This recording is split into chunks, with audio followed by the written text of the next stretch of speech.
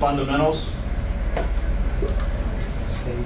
So, anybody that's ever been through um, a pistol class or a shooting class, you get familiar with the fundamentals of marksmanship. Usually there's seven listed or eight listed.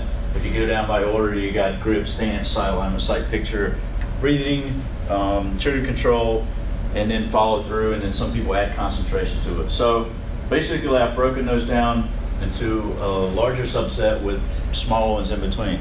So you got stance and grip, but for me that's part of your body position, what you need, where your body needs to be, including your hands whenever you're uh, shooting. So you got your stance.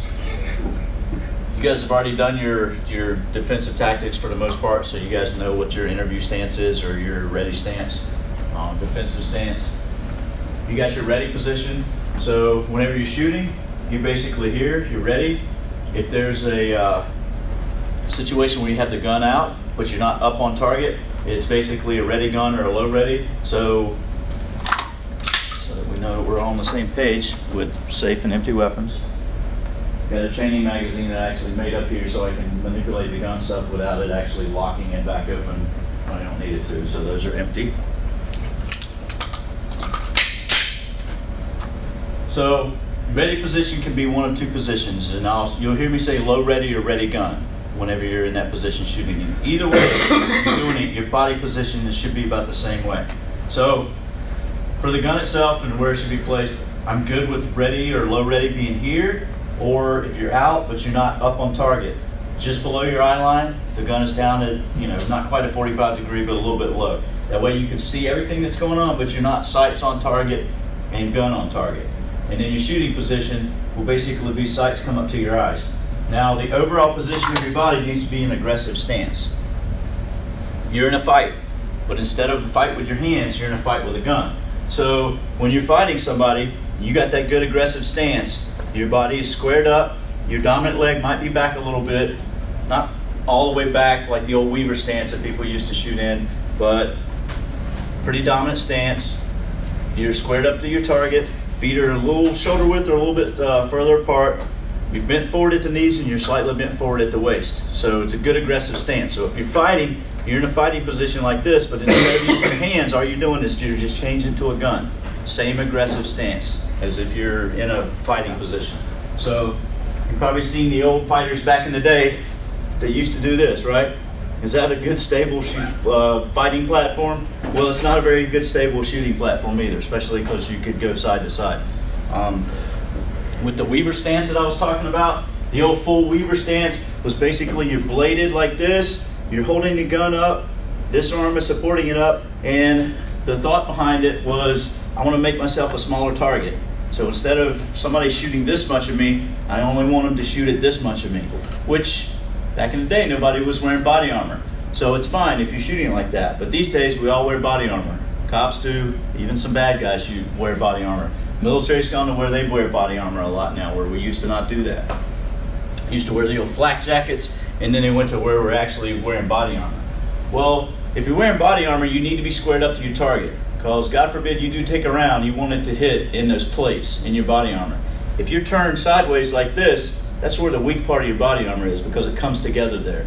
It either snaps in the front or snaps on the side, but your weak part is here. And if I'm shooting like this and a bad guy's shooting and he happens to get a round through here, where's that round going to go? It's going to go into my vital organs here, which I need to function and keep going. So that's why one of the reasons you want to square up to your target. Another reason you want to square up to your target is you're using your natural point of aim.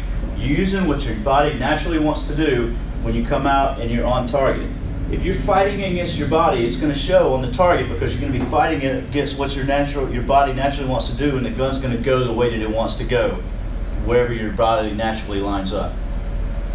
When we get on the range, we'll actually demonstrate that, where if you're not lined up correctly, and if you're in close proximity, uh, seven yards and in, you should be able to basically point shoot, which means you're going to bring the gun up to your eye line. You're not really going to focus on your sights don't take from this that I don't want you to use your sights. I want people to use their sights. But if you're in close quarters, close quarters battle, then basically you come up, if you use a natural point of aim and you punch straight out, you can just flash over the sight, get a small picture of it, and then you can put rounds accurately on target.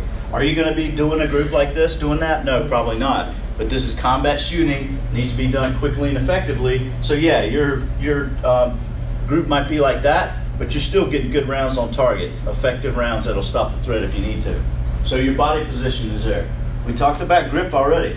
The grip starts in the holster.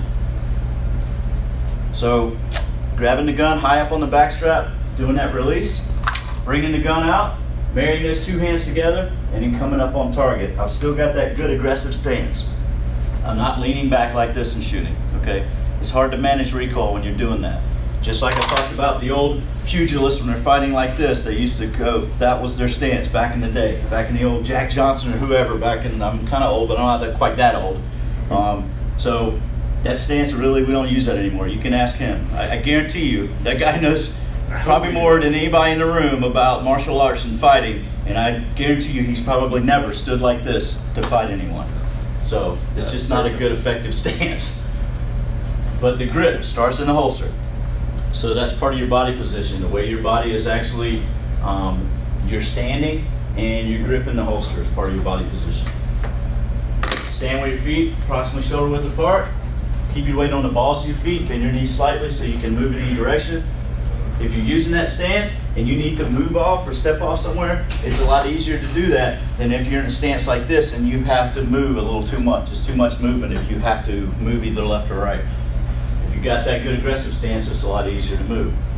Again, if you got the gun out and you're leaning back like this, it's a little harder to manage the recoil. I know guys that can do that and they shoot really well, but what happens is that follow-up shot, it takes them a little longer to get on target because they're leaning back, even if you're a bigger guy, the gun is going to recoil way up a little further than it should because you're leaning back and you're not leaning into it and managing the recoil. Shoot well, but then it takes a second to get back down, get back your sights lined up, and then fire the next round. Whereas if you're being aggressive with it, and the guns will still flip up a little, but mostly your body's going back this way to manage the recoil, and it's a lot easier to get back on target than it is when it pops up like that.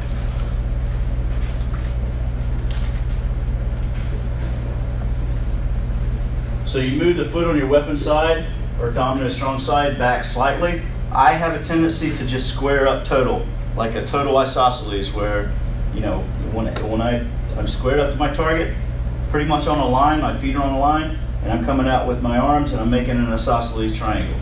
Um, again, perfectly okay with somebody putting their dominant leg back. It's natural for most people. Square your head and shoulders to the target, keep your back straight, your head erect, unless you're using a modified weaver stance.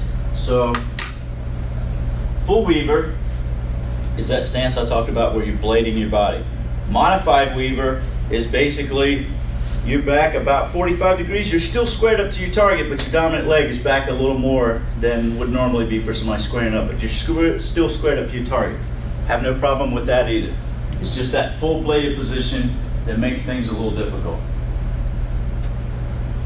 Draw your weapon, raise it to eye level. Don't bend your head down to the weapon level. Bring the gun up to your eyes. Sights always to the eyes. You don't bring the gun up and then you have to start moving your head around to see where your sights are. You should be looking at your target and gun goes straight up to your eye level, right in front of whichever your eye dominant eye you have, and we'll figure that out in just a second. After you fire a weapon, continue to cover your target and scan for additional threats. And we talked about that cover scan and holster. Weaver stance, stand about a 45 degree angle to the target. It's actually a little more than that. Um, dominant foot's to the rear, bend your knees slightly so the weight's on the balls of your feet. Keep your shoulders at 45 degree angle, and that's where the full weaver is. Your body, your upper torso is not squared up on your target. You're basically bladed the entire time. Lock your weapon hand straight out and bend your elbow on your non-dominant hand. So basically that old Weaver stance is like that. You've seen a lot of old school, probably movies and cop shows that show people doing that. Push forward with your dominant hand, pull back with your non-dominant hand to create that isometric tension. Bring your weapon eye level and keep your head erect. So that's a uh, example of the, the Weaver stance. See how he's got that arm locked out here? That one's a little bit bent. This leg is a little bit further back. And then you've got a isosceles stance. Stand with feet approximately shoulder width apart. Keep the weight on the balls of your feet so you got that good aggressive stance. Bend slightly forward at the knees so you allow for movement side to side or back and forth. It's a lot easier than having your legs tied up if you're in that, that full weaver stance. You might have to switch them up and move them over. Stand with your head and shoulders square to the target, your body weight forward. Lock your arms straight out in front of you and bring the eye, bring the handgun to eye level. And that's an example of that. So he's totally squared up to the target. Both arms locked out in place. Not locked out so much that you're like shaking, but you're locking them out. And along with locking them out, you're rolling those shoulders forward so you get locked into the gun really good and you can manage the recoil a lot better. Talked about that fighting or tactical stance. Squared to the target, feet are shoulder width or slightly wider. Firing uh, side foot or your dominant side foot is slightly behind the support side foot. Good landmark is for the toe of the shooting foot to be the instep of the support foot. So if I'm standing here, if you guys can see my feet, with that, I square up, but there's no problem with being back a little bit, just because it's normal for somebody to have that dominant leg back a little bit.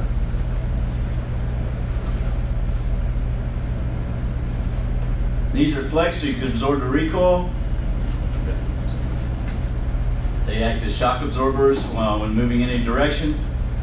Shooter leans slightly forward and extends the arm straight out, bringing the sights to the eyes. You'll hear me repeatedly say that. Sights up to your eyes, sights up to your eyes. Don't move your head down to the gun. Head is kept level to maintain balance, especially when moving. It's more conducive in engaging multiple targets and moving while shooting. So if I've got that good aggressive stance, a good combat stance, and whether I'm walking forward and engaging, or I'm walking back, or I'm moving side to side, or I'm going from multiple targets, one to the other, it's a lot easier to do that than it is if you got that Weaver stance and you're just fighting a lot against your body when you're moving back and forward. Uh, specifically when you're engaging multiple targets to the left and to the right. And that's a good aggressive stance. Notice he's still locked out here.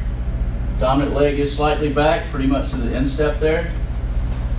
Allows for uh, a lot more freedom of movement and a lot more um, shock absorb, uh, absorption whenever you're uh, taking care of the recoil or managing the recoil. So that was basically from the standing. So kneeling position,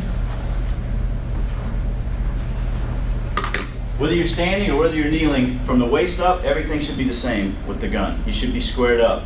So all it is, if you're standing and you're going to a kneeling, you're just gonna drop down to a knee, but not to the point that you're gonna smash your knee on concrete or whatever else you might have, so just be cognizant of that. But there's really no reason to step forward, but you can do that, or there's no reason for you to step backward when all you have to do is just drop in place. I can stand right here and drop in the same place and drop on my knee. Everything for the waist up is exactly the same. Only thing you're doing is you're lowering your profile. So why would we want to do that? If we're firing and we've got some cover that we want to get behind, and if we're standing here, so this is the table, let's say that this is a concrete wall that only goes up to about right here. And I'm engaging a target, but I want to use cover. So the majority of me is out in the open, exposed. But if I want to use that cover, a good way for me to do it would be to get down in the kneeling where most of my body is behind the cover. So you might be in that kneeling position for that. Everything else is pretty much the same. One thing you want to do when you drop down to the kneeling is make sure you keep that wide base.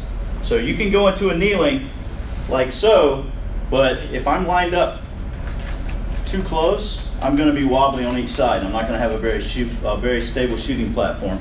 So some guys will even once they get down in it, they'll take a little bit of an extra step to the side so they can spread that base out a little more. And it's a lot more shoot, uh, stable shooting platform. You don't wobble back and forth whenever you're doing it.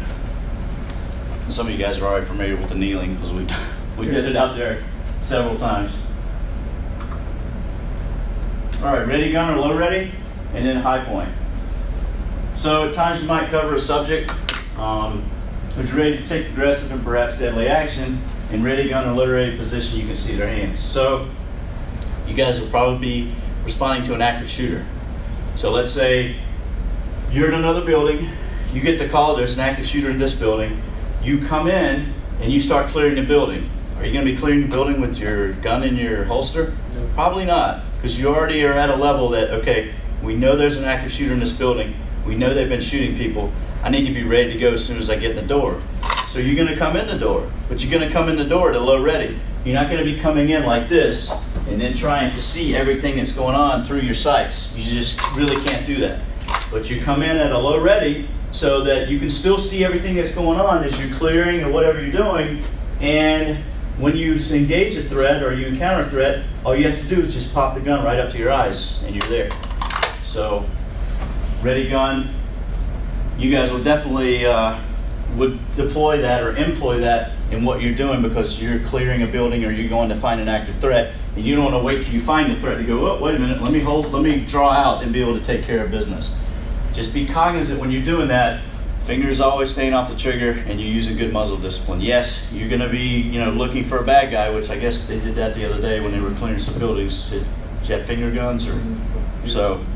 Be careful with those finger guns. Sometimes they can go off and hurt you. So anyway, uh, maintain good muzzle discipline, whatever you're doing. Obviously, uh, you're looking for people in there, but you just want to maintain one, that good muzzle discipline, and two, make sure the finger's off the trigger until you're up on the target and ready to fire if deadly force is, is authorized. So to take the ready gun or low ready, you should assume a standing position that we talked about earlier, extend and lock your arms below your line of sight, and need to be able to observe the subject's hands and waistline. So if there is a bad guy up there, and he's not a deadly force, but I'm giving him commands, but I've got a gun on him, and I've got the gun pretty much blocking what I can see his hands are doing, that doesn't do me any good. Because he might be able to do something, and I don't pick it up in time because my gun is actually blocking what I'm seeing. So ready gun, doesn't take that long for you to come up and be on target if you need to, but you could still observe everything that's going on. In the high point position, that's when you're ready to fire. High point, sights are up to your eyes, and then you're on target and ready to fire. Again, as long as there's you've reached that threshold of deadly force.